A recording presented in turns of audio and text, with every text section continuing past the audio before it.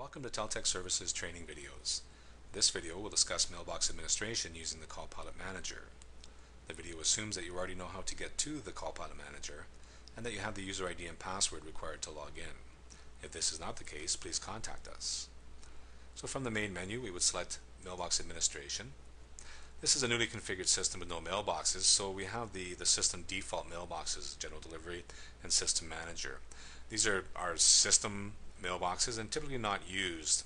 In older implementations, you may find that the general delivery mailbox is assigned to the receptionist at extension 221 or something different if, if, there, if that's been changed. But what we found is there's a lot of confusion with that. Uh, say the user at 225 has a message that needs to go to the receptionist. If they try and forward it through the voicemail system, they have to remember to forward it to mailbox 100 instead of mailbox uh, 221, which is where that receptionist is sitting. So uh, we choose to disable the general delivery mailbox and give the person at the reception their own mailbox that matches their extension.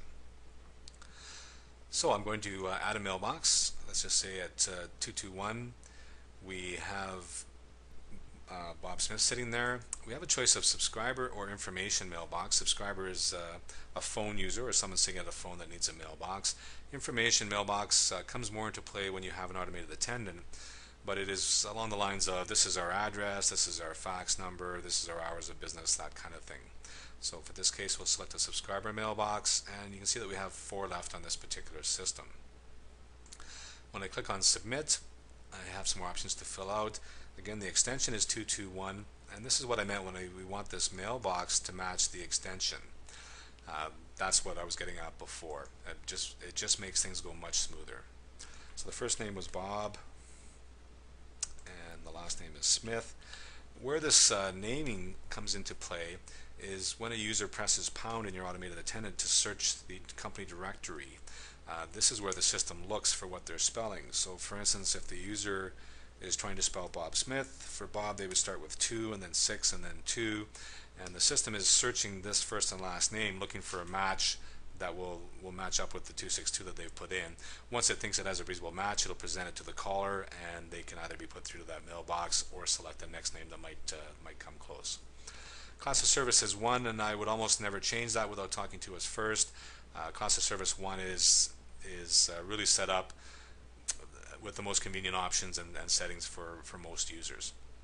Display in the directory just uh, determines whether or not Bob Smith will be presented in the company directory message waiting, whether uh, there's a message waiting indicator on their phone. Uh, auto login you might be tempted to use. Uh, really, what it is, if that's enabled, Bob could walk up to his phone, enter feature 981, and be right into his mailbox without entering a password. Uh, we have found that can cause some problems because anybody can walk up to the phone, then enter feature 981, and be right into that person's mailbox, whether they're the actual user or not. So, in fact, I wouldn't change any of the other options besides the extension first name and last name. Once you click on submit, you'll see that uh, Bob is the new mailbox there. I'm just going to take a, a, minute and quickly add a couple more. I'll be right back. Okay, so I've added a couple more mailboxes there. This is pretty atypical of a, of a system, how it might look. Obviously, there may be more mailboxes on your system. So really the two things that people uh, tend to want to come here and do are resetting passwords and adding or changing uh, mailboxes. So to reset a password, you simply find the, uh, let's say Jane has locked up her password, she's made three attempts incorrectly. Now the system says the mailbox is locked, it must be unlocked by the system administrator. I'm assuming that's you and that's why you're watching these videos. So we go to Jane Doe across the end of the line, click on reset the password, and it asks if for sure, sure we are. Uh, that mailbox has now been reset to four zeros or 0000. Jane can now log into her mailbox, enter the four zeros, the system will force her to enter a new password, and she's back in business. The second thing uh, is people come and go, or you, you add or remove users. Let's just say Brenda Brown has left the company, and now we have a John White uh, that is sitting at that extension. Now, there's a couple ways you could uh, go about fixing that. One is to uh, to give John Brenda's old old password if you have it, or resetting the password to four zeros and advising John to uh, enter four zeros and set the mailbox up. But the system doesn't know that uh, Brenda's gone. It just knows someone's trying to change it. And, and if uh, John doesn't have enough experience, he may not change all the things necessary to, to make the mailbox work right. So, for instance, you have a spoken name and an outgoing message. Um, John may change the outgoing message but not know to change the spoken name, so you have Brenda's spoken name with John's outgoing message or vice versa and that kind of thing. So really what we found is, is best to do is to uh, delete and reinstate that mailbox. So um, the system administrator yourself would go to that 223 mailbox, uh, make sure any messages that are in there that you want are taken off, written down, transcribed, or whatever. If you don't know the password because Brenda left in a hurry, while well, you reset the password and do it that way. When you're done, delete the mailbox. Are you sure? And then go back and add one at the same extension. This time we'll say it's uh, John White.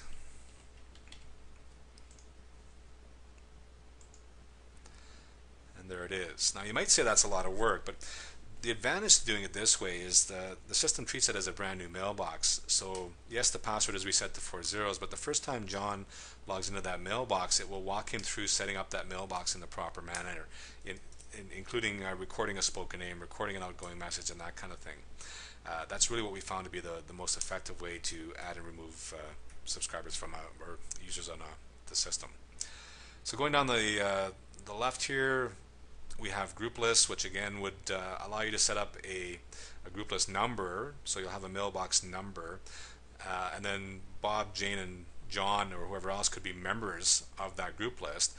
And now you just have to enter that unique number, and that message would be sent to everybody who's a member of that list. So let's say the group list is 901. If you send a message to 901, then whoever's a member of that list gets that same message, and allows you to uh, to send to many people with with just by entering one number.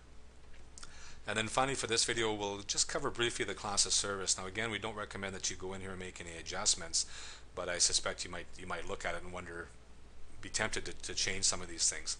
So here you can change the, the maximum message time in a mailbox, um, the length in minutes, the retention period, how long it's uh, how long it's retained, the maximum greeting lengths, and those kinds of things. The one you might be tempted to look at is this password expiry, and you can see that it says uh, zero equals never expire, and we strongly recommend you don't do that, uh, even though it's tempting because people get frustrated having to change their password.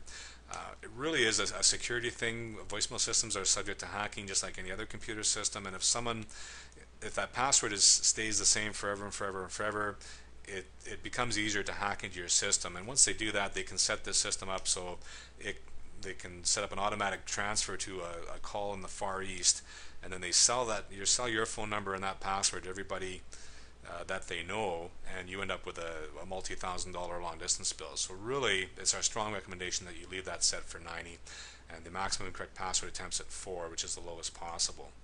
If you have any questions about that, give us a call. We'll explain it further.